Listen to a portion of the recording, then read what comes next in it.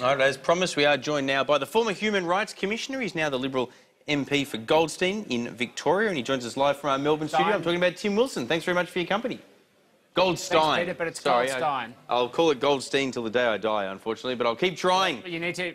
I'll yeah, keep you trying can try and correct just yourself. for you. Now, listen, let's get into a couple of key issues. We might start with the census just to get it out of the road. Unmitigated debacle, not really appropriate that the Prime Minister throws it all on the bureaucrats as a strong believer of ministerial responsibility. You'd agree with me on that, wouldn't you?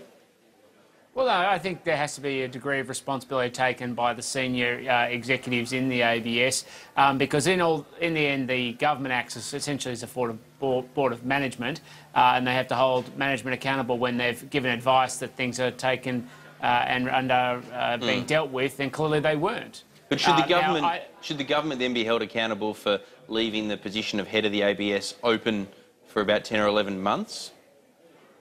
Well, obviously there have been decisions that have been made that have informed the outcome that we've now got, and of course the government has taken uh, uh, some responsibility. Um, the public are holding us accountable for the failure of uh, the census, and that's why we have to make sure that it's fixed. Because when you look at the core jobs of government, of course, census is a part of that, uh, and making sure that it's done professionally is very important um, for confidence, not just with the census, but government generally.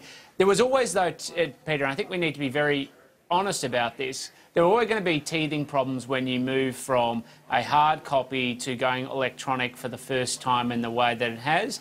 The only thing to do from this is to learn from it and to make sure it doesn't But happen surely, again. surely you don't think that the site, confidence surely you don't think that the site Peter, being shut down for two whole days is teething problems. I mean, that's got to be a lot worse than teething problems.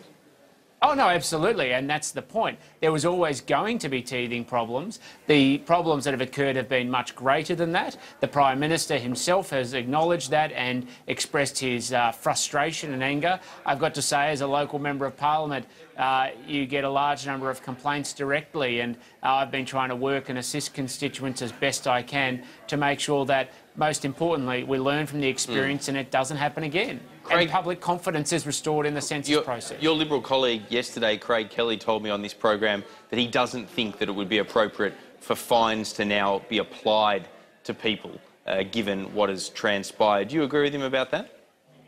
Well, considering uh, uh, you have until August, uh, sorry, September 23 to fill out the census. I mean, if you haven't managed in some way to fill, fill it out either by going online when the site is back up or requested, filled out, completed and resubmitted a paper copy, then I think uh, you're probably deliberately not doing it and then fines can apply. I mean, the government has rightly been flexible because of the situation that we all find ourselves in. What about the inner libertarian in you, though, Tim Wilson? The idea of a $180 a day fine into perpetuity uh, for not complying with something that's as compulsory as the census, you couldn't be too comfortable about that, could you? Well, I'm not a libertarian, Peter. I'm a liberal, and there's an important distinction. I'm uh, not as anarchic as some liberals, libertarians are. Uh, liberals recognise that freedom exists within a context, and a key part of that is having a structure and democracy to preserve that freedom. And the census has always been a part of it to make sure we have accurate and important information for the government to be able to do its job, but also so that it can be small and lean and effective rather than large, verbose, and cumbersome um, in trying to be all things to all people. Is it time that we throw the curtains open to what, whatever on earth is going on on Nauru? Uh, the Guardian have released 2,000 incident reports, a thousand of which deal with children, sexual abuse, cruelty, assaults, and self harm. Uh, after one Four Corners episode uh, in relation to what went on at one detention centre, juvenile detention centre up in the Northern Territory, we got a Royal Commission, uh, yet a thousand incident reports uh, and no such equivalent coming in terms of Nauru.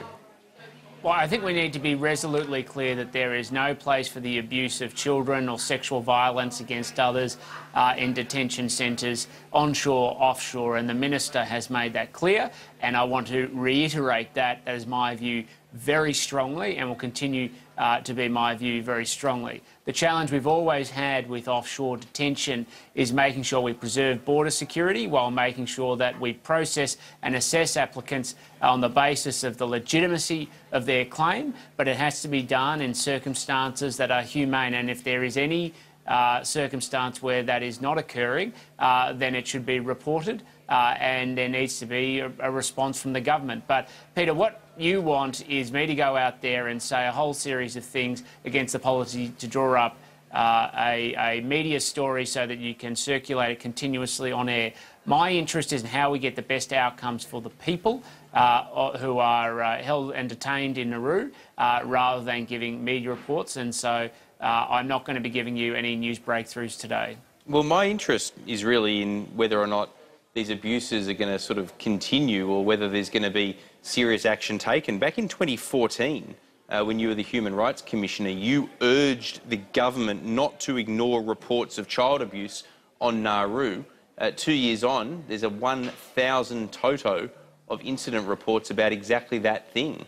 Uh, you must be horrified at whatever little respect the government paid to the words of the then Human Rights Commissioner, your good self, two years ago. Look at what's happened.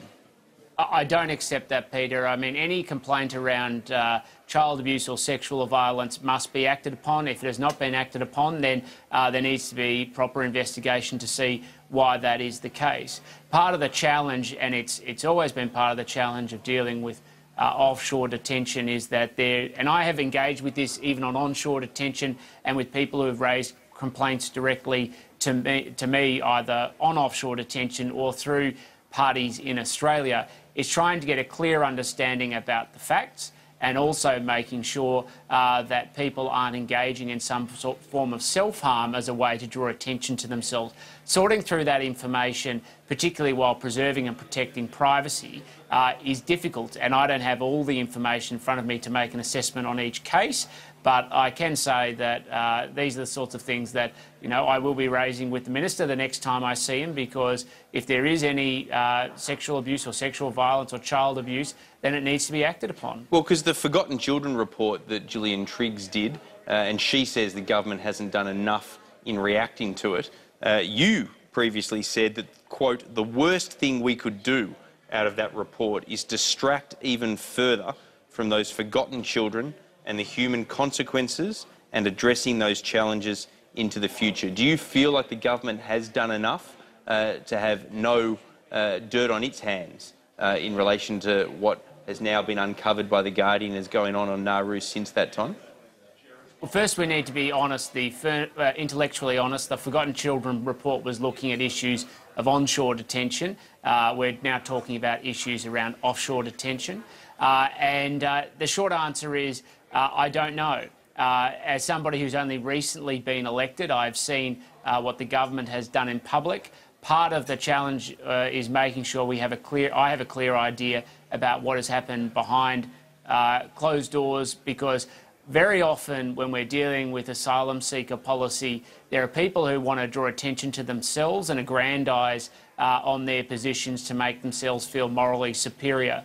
That's not where my interest is. A lot of the best things done in the asylum seeker space is done quietly, respectfully, to deliver the best outcomes for people um, because we have to uh, make sure we don't send the wrong message to people smugglers. Is, is, that your view? I mean, just before we run out of time, is your view that there is quite a bit going on quietly behind the scenes, including within the government, uh, as it considers how to respond to these sort of shocking numbers of what's going on and off short attention, but it's the balance between that going on behind the scenes versus what we can talk about publicly without sending what a message which somehow opens the flood of boats. Is, is that the point?